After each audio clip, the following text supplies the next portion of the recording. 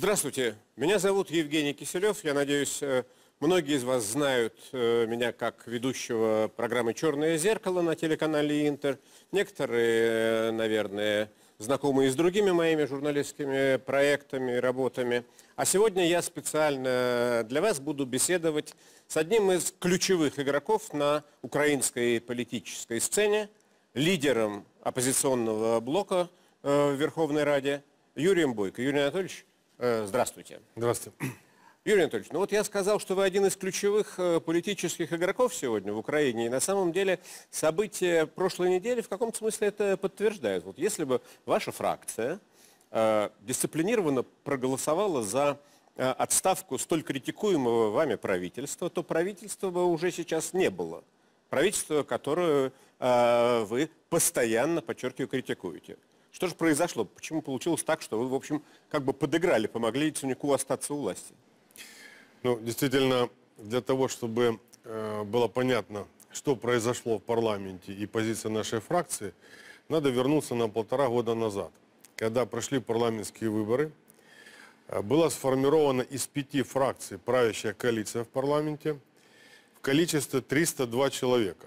Это было первый раз в истории Украины, когда конституционное большинство сформировалось в правящую коалицию. Эта правящая коалиция э, сформировала правительство, делегировала туда каждая фракция своих министров. Э, оппозицию вообще отстранили от принятия каких-либо, я не говорю кадровых решений, а вообще участия в политической жизни страны, блокировали все наши законопроекты. И вот эта вот полностью узурпация власти, при том, что оппозицию отстранили от контроля, вот это была визитная карточка и коалиции, и правительства, которое она сформировала. Полтора года они поработали. Доработались до того, что уровень поддержки правительства по разным оценкам там 5-7% населения поддерживает действия, а коалиции э, парламента из оппозиции правящей коалиции то же самое. Около 6% уровень поддержки парламента. И дальше, когда стало ясно, что кризис, что уже что-то надо делать, э, что люди просто не выдержат этого, решили найти крайнюю. Причем решили это сделать нашими голосами. Значит, что мы проголосовали за отставку правительства, при том, что правящая коалиция остается. И после того, как будет уволено правительство с нашим участием, то они сами уже без нас назначат новых министров, привезут каких-то очередных представителей других стран, там дадут им паспорта в срочном порядке и назначат министрами. И будут руководить опять, и это все будет продолжаться, потому что коалиция нанимала это правительство на работу, и она несет такую же ответственность за ситуацию в стране, поскольку готовили законы они вместе, которые привели к э, вот такому э, кризисному состоянию, в том числе в экономике. Поэтому наша позиция была проста. Мы считаем, что правительство плохо работает, вы его нанимали на работу, вы его и увольте.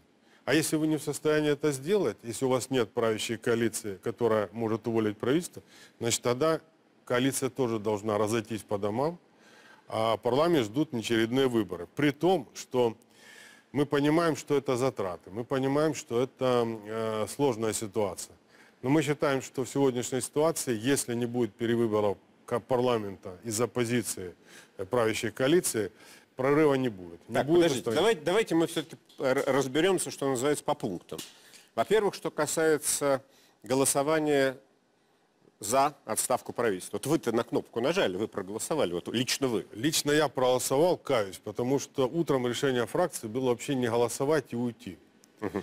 Но, скажем так, взыграли эмоции, слишком наболело, когда я послушал отчет Яценюка, еще я и несколько коллег не смогли сдержаться и просто нажали кнопку. Скажем так, нарушили фракционную дисциплину. Но решение было не участвовать в кадровых, э, не расчищать кадровую дорогу для правящей коалиции э, и вообще кардинально решать вопрос по парламенту. Хорошо. Тогда еще один вопрос у меня возникает. Но вот все-таки какая, э, как говорят в театре, сверхзадача?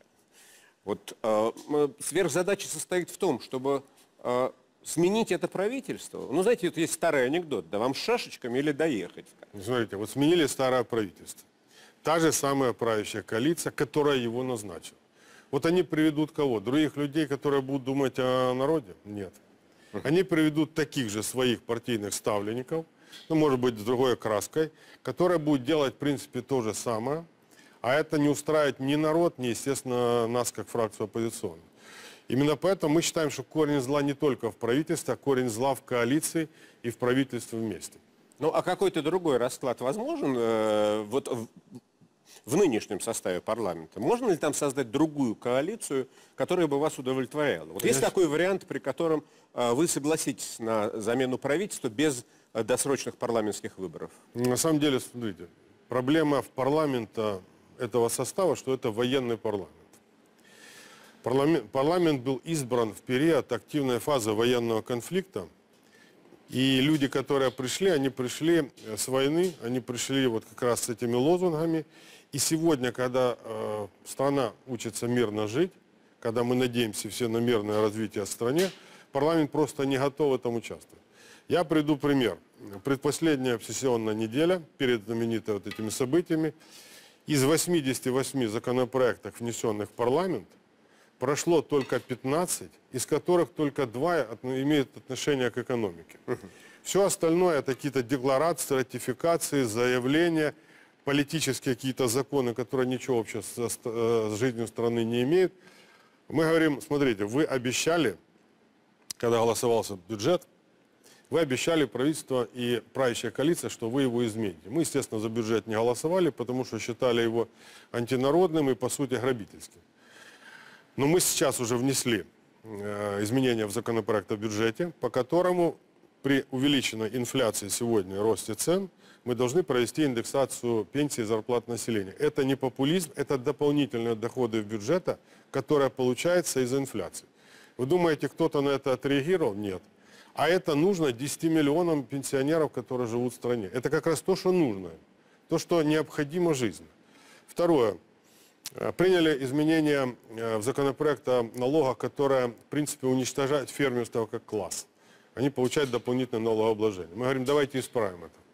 Внесите вы, не хотите наш закон, внесите мы, мы его поддержим. 100 тысяч фермеров на селе реально сегодня банкроты с этим налогом.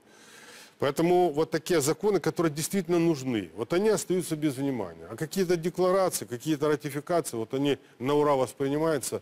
И поэтому мы считаем, что просто проблема в парламенте. Это военный парламент, он к мирному времени не приспособлен. Есть, а что вы сможете возразить э, на такие аргументы? Ведь э, многие говорят, смотрите, досрочные выборы э, приведут к многомесячному параличу власти, потому что э, остановятся какие-либо реформы вообще. Все уйдут, что называется, э, на фронт избирательной борьбы. Э, и э, это на много месяцев. На самом деле, если спросить, какие сейчас реформы и нет ли паралича власти, так паралич власти есть. Когда есть явный конфликт между президентом и премьер-министром, когда президент публично призывает премьер-министра уйти в отставку, а тот говорит, нет, я останусь, и как они будут работать. С первого дня назначения премьер-министром президент работал, премьер-министр работал только на свой э, политический имидж. Потому что все э, действия, ну, сложно, сложно назвать э, отрасль, которая бы получила успех при работе премьер-министра. Он должен был заниматься экономикой по Конституции, в то время он строил стену или канаву копал на границе с Россией, открывал новую полицию, делал какие-то имиджевые вещи, делал все, кроме того, чтобы заниматься экономикой. И в итоге бы пришли к тому, чему пришли. Экономика в завале, исчезли целые отрасли промышленности и так далее. Поэтому оно все как бы сложилось э, один вот такой клубок противоречий, борьбы политической. Хорошо, а где уверенность в том, что новый парламент будет лучше? Ведь э, многие опросы общественного мнения свидетельствуют о том, что э, сразу несколько партий могут получить там по 11, 12, 15 процентов э, голосов, и дальше будет очень сложно создавать коалицию, правящее большинство, формировать кабинет и так далее. Может быть и сложно будет создавать. Может и пестрота увеличится парламента, политическая палитра расширится. Но тем не менее те депутаты, которые придут э, после этих выборов, я надеюсь, они придут уже под лозунгом восстановления экономики, потому что это требуют люди. Люди требуют улучшения жизни, люди требуют экономических каких-то э, улучшений. И это уже не будет э, вперед в атаку, это будет э, давайте развивать страну. Ну хорошо, вот, а как долго еще можно тянуть? Пока не удается э, там, сподвигнуть политический класс на то, чтобы были новые выборы. Вот если, если, если опять будет какая-нибудь там махинация, комбинация, э, грубо говоря, вспомнят э, прошлое, вспомнят решения, которые еще э, в свое время весной 2010 года были приняты, когда выяснилось, что, оказывается, э, можно в индивидуальном порядке состоять в коалиции, там, что называется, посчитают, прослезятся, выяснится, что все-таки коалиция, несмотря на выход из нее самопомощи и, и э, Батькивщины, не знаю, там, как э, будет с радикальной партией, может, оказывается, все-таки она из нее и не вышла, Эм, но вот скажут, что есть коалиция, Ну, не это- будет выборов. Это арифметически можно сделать. И, наверное, можно собрать там 226 голосов. Но в условиях жесткого конфликта между высшими лицами государства, президента и премьер-министра, эта конструкция будет неустойчива. И сегодня э, первопричина ж не, не, не трения какие-то в коалиции, а первопричина как раз в конфликте президента и премьер-министра. И он, он не остановится, этот конфликт. Он будет продолжаться, судя по тому, что мы видим в парламенте в окружении и в беседе с ними, этот конфликт будет продолжаться. Смотрите, еще один момент. Ну не может там, парламент, который не пользуется доверием людей, и правительство, которое тоже не пользуется доверием, проводить какие-то реформы или принимать законы и двигать страну в такое сложное время вперед. Э, Люди Ну, хорошо. просто не, не верят и, и не воспринимают это. Вот сейчас на три недели парламент ушел, э, при том, что колоссальное количество осталось нерешенных Ну, я вопросов, думаю, что начиная на- э, с тех же самых поправок в бюджет, о которых вы Совершенно верно. Вот мы э, сейчас настаиваем, что были приняты поправки в бюджет, мы настаиваем на изменение налогового кодекс, и очень важный вопрос дальнейшего продвижения по Минским соглашениям. Это вообще болевая точка, это то, что больше всего хотят люди. А что касается трех недель, то я уверен, что в эти три недели как раз сделаны специально были для того, чтобы э, была возможность торговаться и формировать, и попытаться сформировать новое правительство. И в это время мы будем свидетелями как раз вот этих политических переговоров. Ну хорошо, а вот как все-таки мира-то добиться? Как добиться урегулирования ситуации на Донбассе? Там, по минским ли переговорам, по каким-то другим форматам? Э, многие критикуют Минские, Минские соглашения, Минский протокол, хотя, в общем-то, все признают, что активные боевые действия и массовые трагедии остановились именно благодаря подписанию Минского протокола. Другой Но это вопрос- только один этап. Да, а это- дальше-то что? Это один, это первый этап, а дальше, к сожалению, мы подходим к стадии замороженного конфликта. То есть это время от времени вспыхивает э, война, время от времени вспыхивают перестрелки. Это уже нет масштабных наступлений, но это ситуация, как Армения, Азербайджан и Нагорный Карабах в течение 20 лет. Э, Что в этой ситуации определенно ясно? что люди на неконтролируемой территории Донбасса, они хотят возврата к мирной, спокойной жизни. В общей массе люди этого хотят. Люди на, э, на территории Украины, они хотят вернуть эти территории, вернуть их людей обратно в Украину. Это, безусловно, очень хороший фундамент для того, чтобы дальше достигать договоренности. Сами договоренности, они действительно частично выполнены в части от- прекращения огня, но дальше ни выборы, ни закон об амнистии, ничего дальше, ни восстановление границы, все это заблокировано. И я думаю, что как раз... Ну э, и постреливают все-таки, давайте об этом тоже и не будем. и их, к сожалению, стреляют, да, но массовых столкновений уже все это признают нет. Я думаю, что как раз этот парламент не способен дальше внести какие-то изменения, которые позволят двигаться по Минскому протоколу. Это еще одна из причин, почему в парламенте очень сильна партия войны, очень сильные э, настроения военные, поэтому это парламент, который, к сожалению, принять решений по миру не сможет. Это еще одна Нет, ну, причина. знаете, мир – это окончание войны. Да? Окончание войны всегда предполагает, что кто-то эту войну выиграл, а кто-то эту войну проиграл. Да? Что кто-то капитулирует, а, а кто-то считает себя победителем. Вот, Наш, знаете, вы- наш выигрыш – это возврат территории людей в страну. Ведь когда часть территории отобрана у страны, посмотрите, что происходит в Азербайджане. Это моральная заноза, когда страна потеряла 20% территории, э, она до сих пор болит у людей. В Азербайджане она у всех болит. это у всего народа. И чтобы у нас такого не случилось, для нас победа – это возвращение территории, возвращение этих А если назад. получится так, что эта территория э, вернется только формально, а фактически будет находиться э, под управлением соседнего государства? Я имею в виду Я думаю, Российскую что мы не Федерацию. сможем сейчас найти готового рецепта, как, э, как это сделать очень быстро. Это будет мучительный процесс. Но, тем не менее, альтернатива страшна. Альтернатива – это замороженный конфликт, поэтому по этому пути по Минскому надо идти. И я считаю, что надо изменять законодательство наше в том, чтобы провести там выборы. Это ключевое.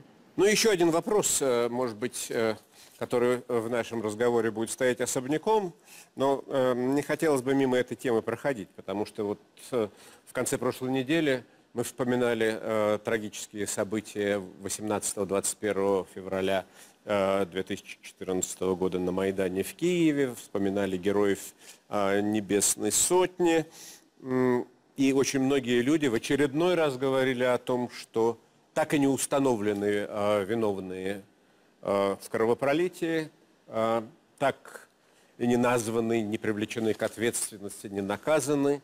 И вот смотрите, э, скоро еще одна дата, тоже вторая годовщина трагических событий 2 мая 2014 же года уже в Одессе, где погибло э, много людей, еще больше э, пострадало. Опять та же самая картина. Э, неназванные виновники, следствие не закончено, будет ли суд непонятно.